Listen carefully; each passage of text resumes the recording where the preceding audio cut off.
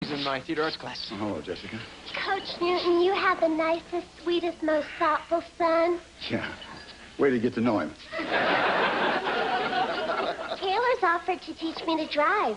In fact, she's even taken me clear out to this place called Miller's Pond, so I won't have to learn in all this city traffic. Isn't that thoughtful? Yes, I'd say you put a lot of thought behind that. I don't know how I'm ever going to thank him. Well, I'm sure when he teaches you the park, something will come up. Well, uh... we better, uh, get our food and get going, you know?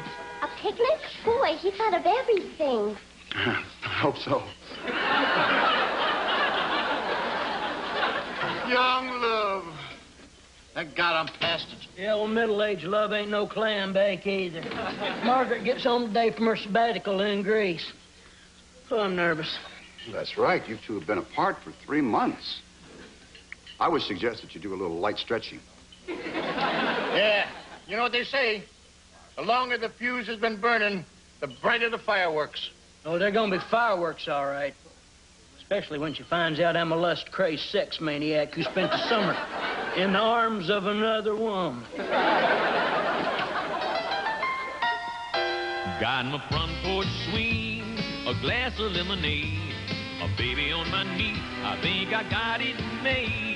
You'd best be believing I'm never leaving evening shade.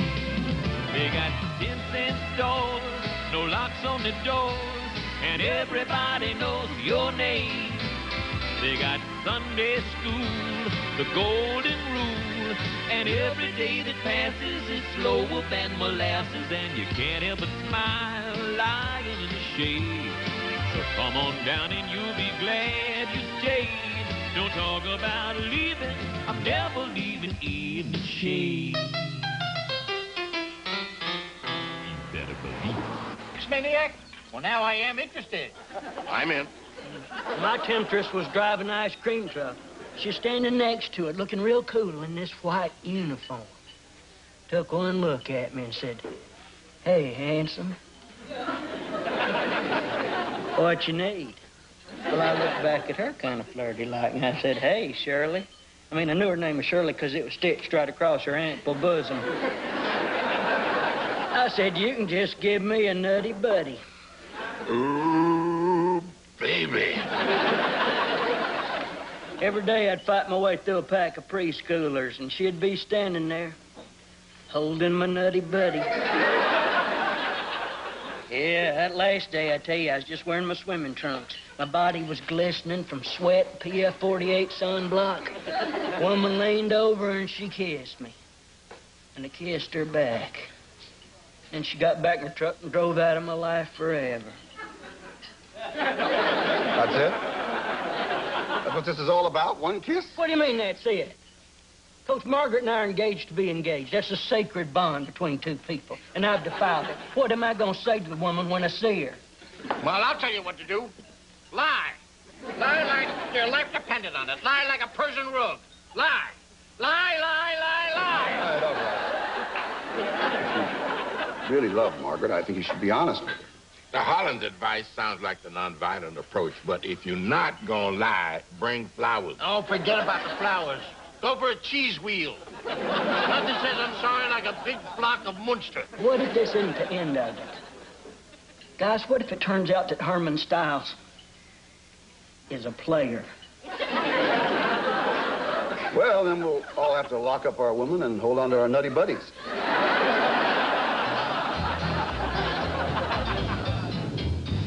Margaret, these are for you. Oh, Mr. Stiles, you shouldn't have. I, I don't deserve. Oh. What, gee? Here. I brought you these from Greece. Dolmade.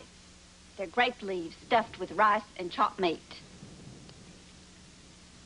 Oh, Margaret, thank you. Nobody's ever given me chopped meat before. Well, I guess I better put those flowers in some water. Yeah, okay. Uh, Margaret? Yes, Herman? How's Grace? Well, you know how it is when you go to a strange country, sometimes you try things you might otherwise have never have tried had you stayed home. Yeah, well, listen, Margaret. Herman, I was unfaithful to you this summer.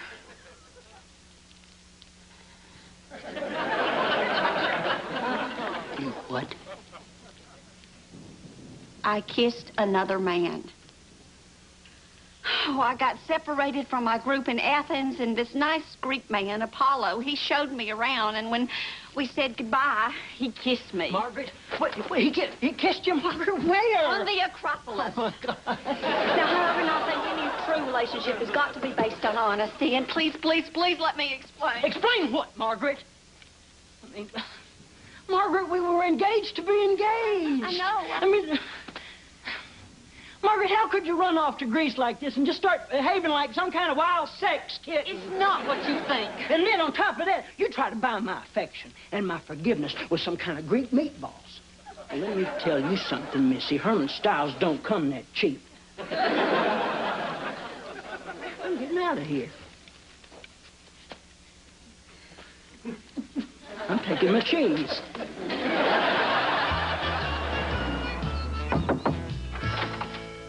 Margaret, hi. Hello, Ava. I just stopped by to talk to Coach Newton for a moment. Oh, come on in. Well, actually, it's uh, it's kind of personal. Oh, well, I was just about to go do something in another room. What can I do for you, Margaret? Oh, Herman and I had an awful fight last night. Now he won't come to the door. He won't even answer the phone. And Frieda said if I called one more time, she was going to reach out and punch somebody. I assume she meant me. Well, she's probably just upset because you interrupted her shock treatment. I just think that if two people are truly in love, they should be able to forgive each other for one tiny indiscretion. Of course they should. So what if he kissed a good humor girl? He what? Did I say? Did I say that he kissed a good humor girl? Because I, I meant he missed a good humor girl like you, Margaret. Oh, that two-timing little worm. And he let me feel guilty about Apollo when he spent his summer chasing some some popsicle floozy. You didn't hear it from me, Margaret. Well, dude, I simply cannot believe the way you sold out Herman. That furry little man is supposed to be your friend. And you're supposed to be a woman. What's your point? I don't see what all the fuss is about. So Herman kissed another woman. Big deal. When I was at a medical conference in Abilene, I had a little lip lock with a nurse. Didn't hurt my marriage. Uh, I thought cleaning bedpans was the worst thing nurses had to do. Well, thank you, Coach Blabbermouth. right when I'm ready to tell Margaret that I forgive her for that tawdry little European sexcapade of hers, she hauls off and hits me just as hard as she can right across my face. Then she suggests that I put a little something cold on my cheek, like ice cream. Margaret's back? it just slipped out. Oh, oh, Herman. Herman, I, I just heard about your heartbreak and humiliation. I'm sure that Wood must have had a very good reason for stabbing you in the back like he did. Thank you. Yeah, well, I'm in the doghouse. Y'all can just call me Fido. Oh, Fido. I'm sure that Margaret will forgive you. Her heart just needs time to heal. That's right, Fido. I mean, Lorraine forgave Harlan for kissing that nurse in Abilene.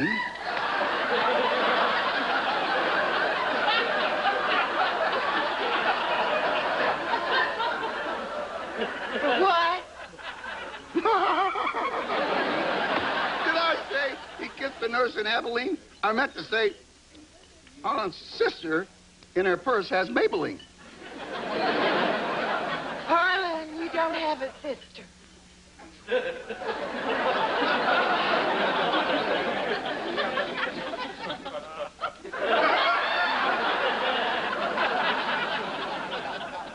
Helene, honey, It was nothing.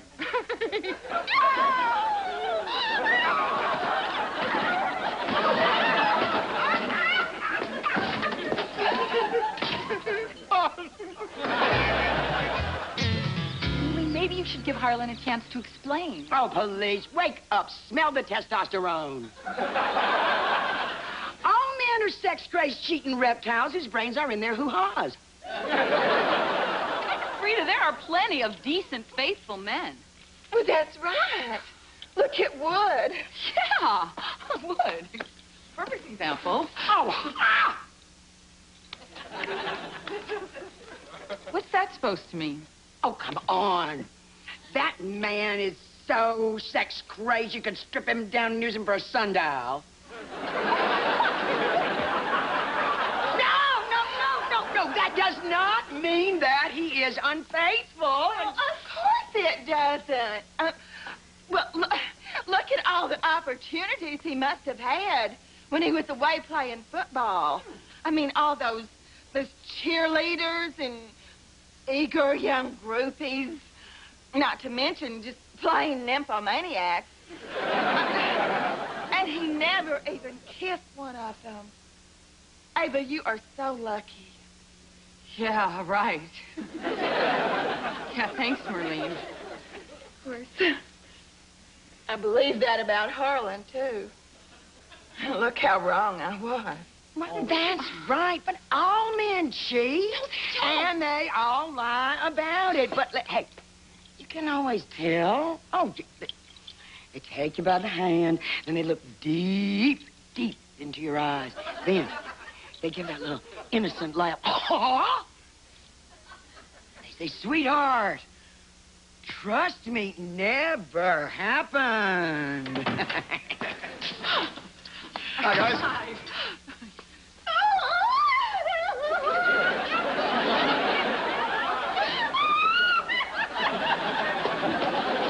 Okay. Let's see, that's Margaret, Herman, Harlan, and Merleen. How many people does it take to form a lynch mob? I guess that's enough.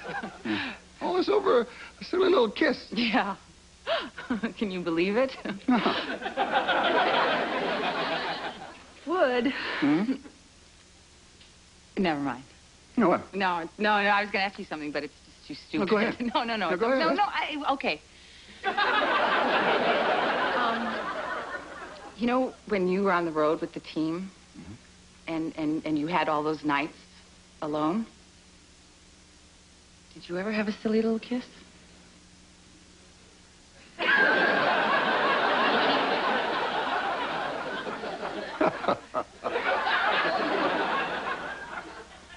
Sweetheart, trust me, nothing ever happened like that. Get out. I'm in the doghouse now. So, I hear you're in the doghouse too, Woodrow. Kind of ironic, eh, Fido? Yeah, I think we ought to strangle them with their flea collars.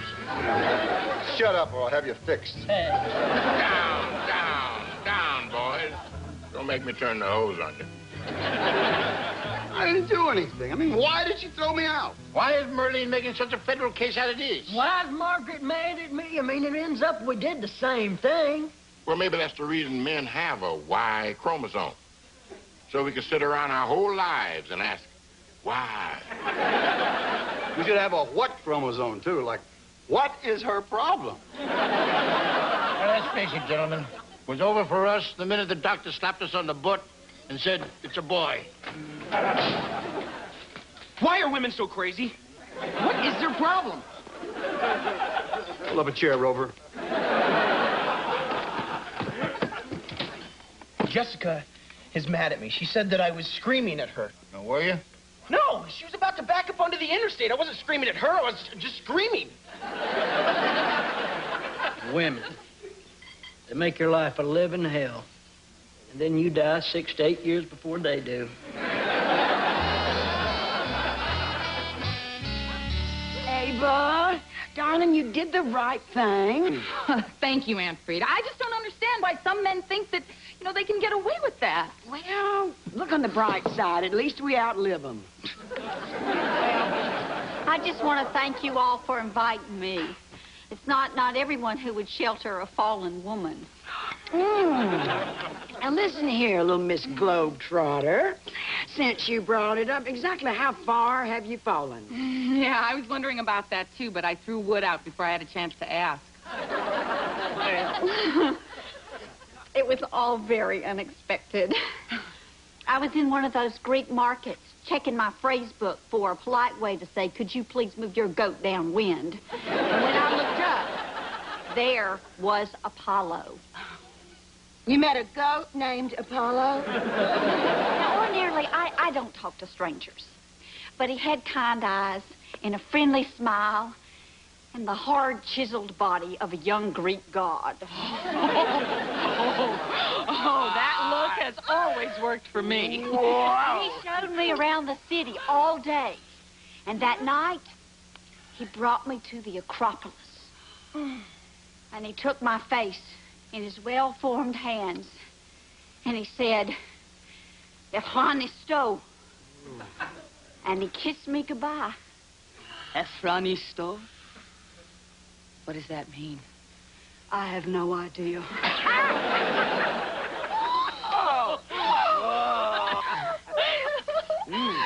I once had a similar indiscretion. Oh. Mm. It was the legendary star of stage and screen, Mr. Robert Goulet. You and Robert Goulet? It was after a matinee of Camelot. And, well, he just looked so snug in those tights. Later on, while Harlan was getting the car, I snuck back to the stage door, and Mr. Goulet kissed me right on the cheek. Oh. oh.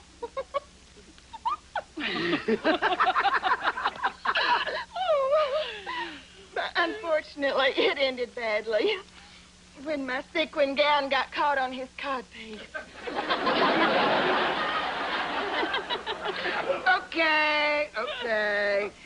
You want to talk indiscretion? All right, all right. One time, I was out in Hollywood, and I was partying with the cast of My Three Sons. Well, let me tell you something. Underneath that apron, Uncle Charlie was all man. Well, it looks like we've all been a little guilty of having indiscretion.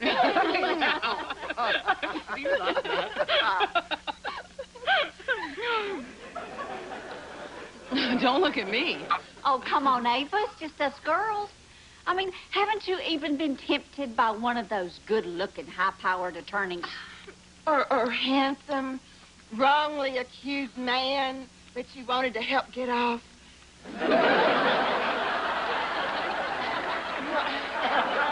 I mean, like, like, like Harrison Ford in The Fugitive. no. Not at all. I'm sorry. It, it, it never happened. Oh, and Ava, now you sounded just like Wood. I do, don't I? oh. Will you stay here and watch the kids? Why, where are you going? Oh, to find my husband. Wait for me. And another thing, what's the big deal about toilet seats? Yeah, we don't complain when they leave them down. If you leave one up, you got an all-night lecture. They fall in just one time and they act like you pushed them over the side of a boat. I'll tell you what really bugs me is the way they take forever to get ready in the morning.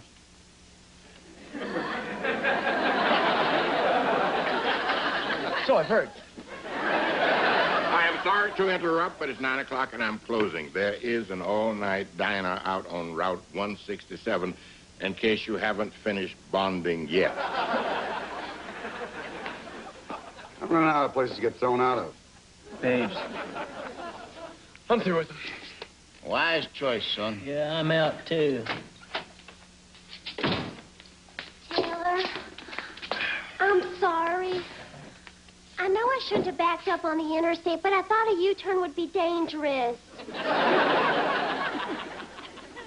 How about we drive real slow out to Miller's Pond? I borrowed my daddy's convertible. I'll let you take the top down. See you guys. The boy folded like a house of cards. Sure did. No, I'm out of here. Ah, you should be ashamed of yourself. I thought the Newton boys had spine. Really, honey. You know, you gotta, you gotta believe me. That nurse had stopped breathing. I was giving her mouth to mouth. Of course I believe you. A big, strong man like you would take any woman's breath away. Ava, I, I swear to you that from the first moment I ever saw you, I've never even looked at another woman.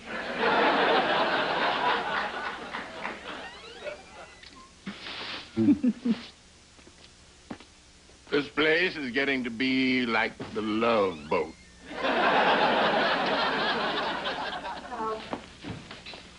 Where's that leave us? I don't know, Margaret. I've been thinking about it. You sorry you kissed that Greek fella?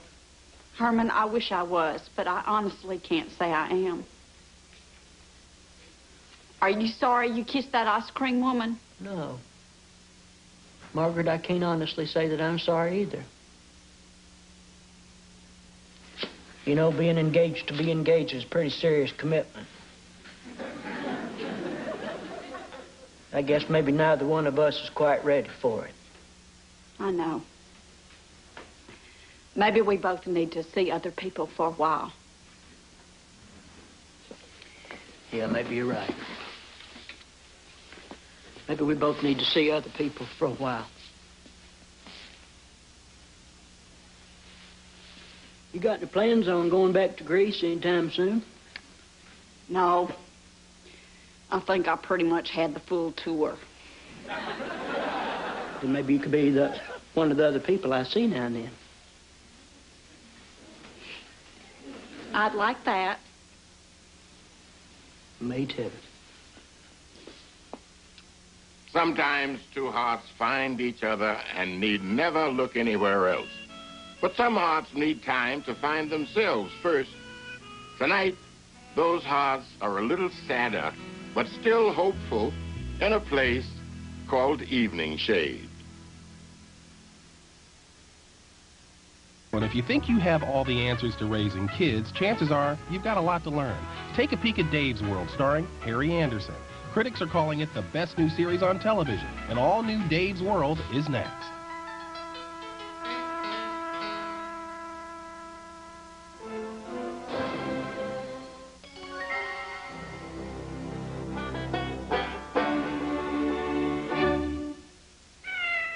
This is CBS.